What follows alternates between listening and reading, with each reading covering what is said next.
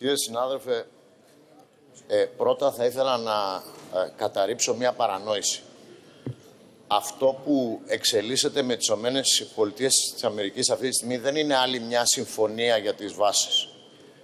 Η αμοιβαίως, αμοιβαία αμυντική συνεργασία μεταξύ των δύο χωρών, η συμφωνία δηλαδή που επίκειται να υπογραφεί, ως απότοκος της ευρύτερης σχέσης στρατηγικής συνεργασίας μεταξύ Ελλάδας και ΗΠΑ, δεν είναι απλά και μόνο μια συμφωνία για το καθεστώς που διέπει τις βάσεις. Είναι κάτι βαθύτερο. Καταρχήν, εκτιμούμε ότι είναι ωφέλιμη για τη χώρα μας σε επίπεδο στρατηγικής συνεργασίας. Ο λόγος που εξελίσσεται αυτή τη στιγμή και αναβαθμίζεται και ίσως απογειώνεται όπως έχω περιγράψει είναι μια διαφορετική αντίληψη που διέπει τις ΗΠΑ ως προς την Ελλάδα συνεπία και τη συμπεριφορά της Τουρκίας. Αυτή η αίσθηση ότι η Τουρκία απομακρύνεται από τη Δύση. Αυτή η αίσθηση ότι η Τουρκία δεν είναι αξιόπιστος εταίρος στους κόλπους του ΝΑΤΟ οδηγεί τους Αμερικάνους να θέλουν να αναβαθμίσουν τη σχέση τους με την Ελλάδα και να ενισχύσουν την παρουσία τους εδώ, όχι με στρατεύματα, όχι με στρατεύματα, αλλά με δράσεις, με συνέργειες και με βοήθειες στην ανάπτυξη υποδομών τις οποίες καρπώνονται τελικά και οι ελληνικές ένοπλες δυνάμεις. Τι εννοώ; Πρόκειται για μια κοινωνία συμφερόντων. Οι Αμερικάνοι εταίροι και σύμμαχοι στο ΝΑΤΟ επενδύουν σε υποδομές που επιλέγουν σε συγκεκριμένες και σαφώς οριοθετημένες ελληνικές τοποθεσίες. Παράλληλα, η συνύπαρξη των ελληνικών με αμερικανικές δυνάμεις σε εξειδικευμένες, όπως είπα, και πολύ συγκεκριμένες εγκαταστάσεις αναβαθμίζει σημαντικά το επίπεδο εκπαίδευσης και εμπειρίας που μπορούν να αποκομίσουν και οι δικές μας ενόπλες δυνάμεις.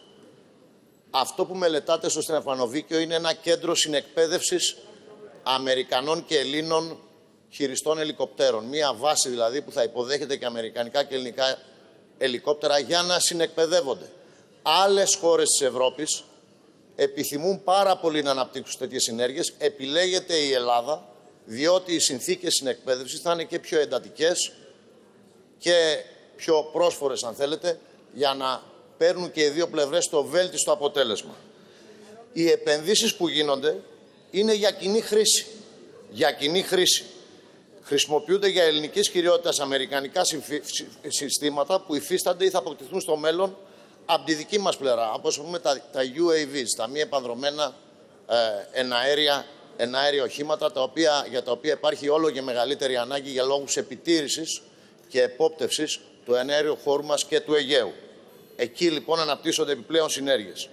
Οι ελληνικές ενόπλες δυνάμεις δεν βλέπουν το συγκεκριμένο, τη συγκεκριμένη υπόθεση σαν μια ευκαιρία να αποκτηθούν και άλλα οπλικά συστήματα σε τιμή ευκαιρίας. Δεν πρόκειται περί αυτού. Είναι η ανάπτυξη μιας βαθύτερης σχέσης η οποία αναπτύσσεται ως μια φιλία θέλει και οι δύο πλευρές να δουλέψουν πάνω σε αυτό, δοκιμάζεται στα δύσκολα, αλλά για το μέλλον έχει μόνο ωφελήματα και πλεονεκτήματα και προϋποθέτει και δουλειά σε βάθος.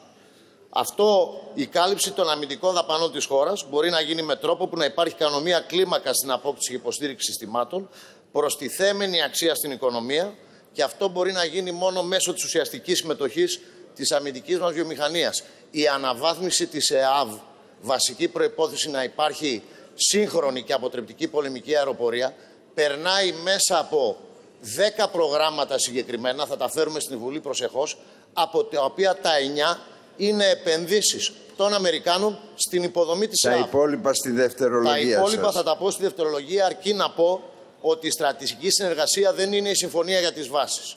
Είναι μια βαθύτερη συνέργεια με επένδυση σε υποδομές με όφελος κυρίως για τις ελληνικές ένοπλες δυνάμεις και μια συνέργεια η οποία θα μπορούσε να αποφέρει και ισχυρότερη αμυντική θωράκιση στη χώρα μας στην παρούσα γεωπολιτική συγκυρία.